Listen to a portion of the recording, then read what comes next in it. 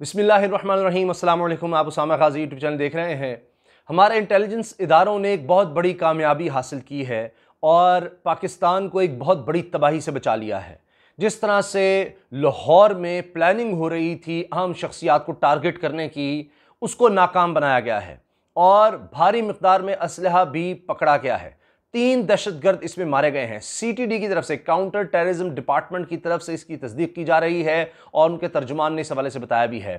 اور یہ تینوں افغانی تھے، افغان نیشنل تھے۔ یہ تینوں دہشت گرد۔ اب یہ بہت اہم ڈیولپمنٹ بھی ہے اور یہ اہم کامیابی بھی ہے۔ تینوں افغان دہشت گرد تھے، یہ بات واضح طور پر بتائی جا رہی ہے۔ ان کے نام بھی سامنے آ گئے ہیں، حتیٰ کہ ان کے شناختی کارڈ بھی بتایا جا رہا ہے کہ حاصل کیے گئے ہیں۔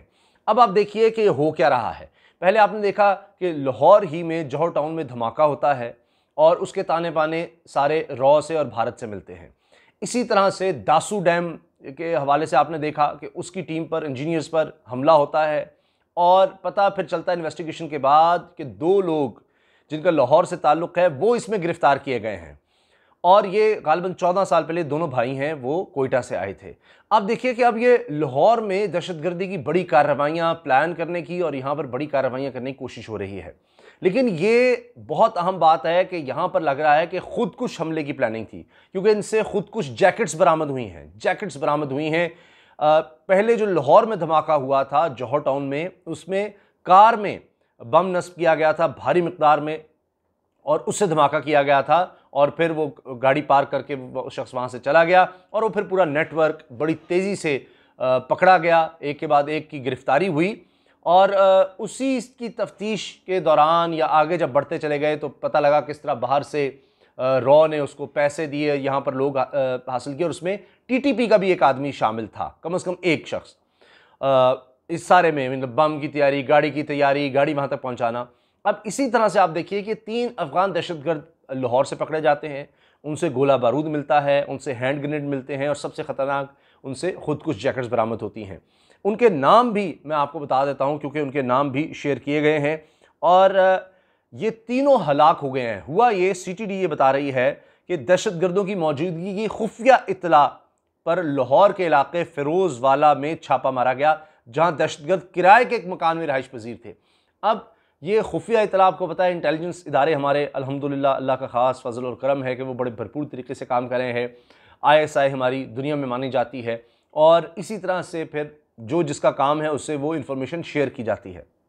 ورنہ آپ سوچئے کتنا بڑا یہ سانیہ ہو سکتا تھا، کیونکہ پتہ یہ چلا ہے کہ وہ سیکیورٹی کے اہلکاروں کو یعنی اعلیٰ سیکیورٹی اہلکاروں کو ٹارگٹ کرنا چاہتے تھے آرمی کے لوگوں کو ٹارگٹ کرنا چاہتے تھے۔ اور سی ٹی ڈی کے ترجمان نے بتایا ہے کہ دہشت گرد حساس اداروں سیکیورٹی فورسز اور اہم شخصیات کو ٹارگٹ کرنے کی منصوبہ بندی کر رہے تھے۔ اب آپ دیکھیے کہ ترجمان سی ٹی ڈی نے یہ بھی بتایا کہ خفیہ اطلاع پر چھاپا مارا تو دہشت گردوں نے فائرنگ کر دی۔ دہشت گردوں اور سی ٹی ڈی اہلکاروں کے مابین فائرنگ کا تبادلہ ہوا جس میں تین دہشت گرد مارے گئے۔ سی ٹی ڈی ترجمان کے مطابق ہلاک ہونے والے تینوں دہشت گردوں کا تعلق افغانستان سے ہے۔ دہشت گردوں کے قبضے سے خود کش جیکٹس، ہینڈ گرنیڈ اور دو کلاشنکوف اور دیگر بارودی مواد بھی برآمد ہوا ہے۔ اب اس سے یہ صاف ظاہر ہو رہا ہے کہ ان کی جو پلاننگ تھی وہ خود کش حملے کی تھی۔ بہت دفعہ یہ دیکھا گیا ہے کہ بعد میں پھر ایک خود کش حملہ اور باہر سے آتا ہے، یہاں پر ساری پلاننگ ہوئی ہوتی ہے، اس کو وہاں پر پہنچایا جاتا ہے۔ تو یہ مختلف ان کے حربے ہوتے ہیں، طریقے ہوتے ہیں کہ پکڑ پکڑے نہ جائیں اس سے بچنے کے لیے۔ آخر میں دہشت گرد کو بلایا جاتا ہے، لیکن یہ واضح ہو رہا ہے کہ یہ دہشت گردی کی نہ صرف کارروائی بلکہ خود کش حملے کی کارروائی تھی، جس کو کہ ناکام بنایا گیا ہے، ورنہ پتہ نہیں کتنا نقصان ہوتا۔ ابھی بھی آپ دیکھیے کہ ہماری سیکورٹی فورسز کس طرح سے قربانیاں دے رہی ہیں۔ ابھی حال ہی میں شمالی وزرستان میں چیک پوسٹ پر حملہ ہوا، اس میں ہمارا جوان شہید ہوا۔ صرف جولائی کے مہینے میں، جولائی کے مہینے میں، ایک مہینے میں آپ دیکھیے کہ پندرہ سے زیادہ دہشت گردی کے اٹیکس ہوئے ہیں، حملے ہوئے ہیں۔ اب یہ ہو کیا رہا ہے؟ یہ بڑا واضح ہے۔ آپ دیکھیے، ایک طرف یہ بھارت یہاں کارروائیں کرتا ہے، دوسری طرف کیا کرتا ہے؟ کیونکہ اس کے پاس فی الحال صدارت آئی ہوئی ہے سیکورٹی کونسل کی متحدہ کی، اور وہاں پر پاکستان کو وہ مدعو نہیں کرتا افغانستان کی صورتحال پر۔ پھر ابھی حال ہی میں دیکھیے ایک اور الزام پاکستان پر کہ لائن آف کنٹرول جو آزاد کشمیر، مقبوضہ کشمیر کے درمیان لائن آف کنٹرول ہے، وہاں سے پاکستان جناب دہشت گرد بھیج رہا ہے بھارت۔ اب دہشت گردی پاکستان میں کروا رہا ہے اور دیکھیے کہ اس طرح شور مچا دو۔ تو پاکستان کی طرف سے اس کی سختی سے مذمت کی گئی ہے کہ باڑ وہاں پر لگائی ہوئی ہے، وہاں پر کرنٹ چھوڑا ہوا ہے، وہاں پر دیواریں بنائی ہوئی ہیں، کیا کیا نہیں کیا ہوا؟ اور نو لاکھ فوجی مقبوضہ کشمیر میں ہیں۔ ایک ایک جگہ پر انہوں نے فوجی تعینات کیا ہوا ہے، وہاں پر کیمرے نصب کیے ہوئے ہیں۔ تو اس کے بعد تو یہ ایک بڑی فضول اور بڑی بہودہ سی بات ہے کہ جناب کہ جی یہاں سے اب دہشت گرد کوئی جا رہے ہیں، جناب وہاں مقبوضہ کشمیر بھیجے جا رہے ہیں۔ کوئی سوچ سکتا ہے کیسے یہ ممکن ہے؟ تو اصل جو بھارت کارروائی کر رہا ہے، اس سے، اس پر پردہ ڈالنے کے لیے یہ سارے بیانات دیے جاتے ہیں۔ اور پھر اس طرح کارروائیاں کرتے ہیں کہ جناب کوئی اگر اس کو انٹرنیشنلی کچھ مل گیا، جس طرح آپ نے ایف اے ٹی ایف میں دیکھا، پاکستان کے خلاف سب کچھ کیا گیا۔ اب سب کو پتہ ہے کہ بھارت کھل کر کہتا ہے کہ جی میں تو سی پیک کے خلاف ہوں، ابھی اس نے کہا جی ہمارے علاقے سے گزرا ہے سی پیک یعنی گلگت بلتستان کو آزاد کشمیر کو بھارت کہتے ہیں، ہمارا علاقہ ہے، یہاں سے گزرا ہے، ہم یہ نہیں ہونے دیں گے۔ تو اس کے خلاف پھر وہ آ تو سکتا نہیں، اتنی اس کی ضرورت نہیں ہے۔ کسی نے کہا کہ آ کے پھر آ جاؤ، یہاں آ کر اپنا علاقہ چھین لو۔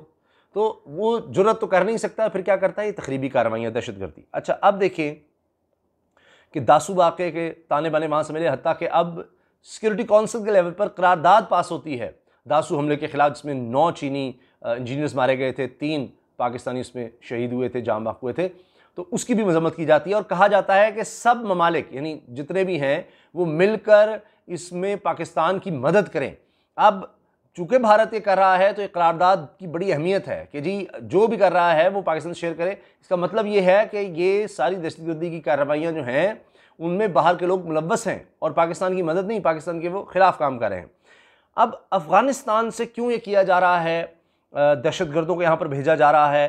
آپ اگر سی این این کو جو انٹرویو دیا نور ولی مسعود نے جو کہ اب سربراہ کہا جاتا ہے ٹی ٹی پی کا، سی این این امریکی جریدے کو انٹرویو دیتا ہے۔ اس میں واضح طور پر کہتا ہے کہ جی ہم اب جو قبائلی علاقے تھے پاکستان کے، وہاں پر اگر ہمیں افغانستان سے نکالا گیا، یہ بڑا ہم ہے کہ جی طالبان کنٹرول سنبھالتے چلے جا رہے ہیں، تو یہ ہو سکتا ہے کہ طالبان کا جو کنٹرول آ جائے تو افغان حکومت نے تو چلو اتنے سالوں میں کچھ نہیں کیا، ان کو رہنے دیا ٹی ٹی پی کے لوگوں کو وہاں پر آرام سے۔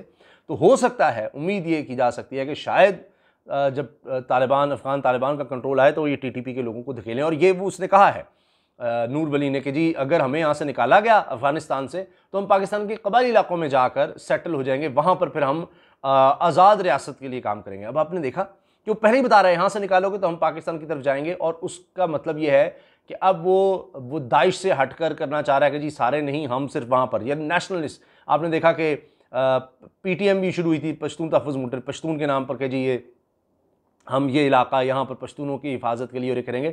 تو وہ بھی اب نیشنلسٹ ایجنڈے کی طرف ٹی ٹی پی بھی آ رہی ہے۔ تو یہ ایک نیا تھریٹ ہے اور آپ دیکھیں کس طرح سے وہاں سے پھر دہشت گرد بھیجے جا رہے ہیں۔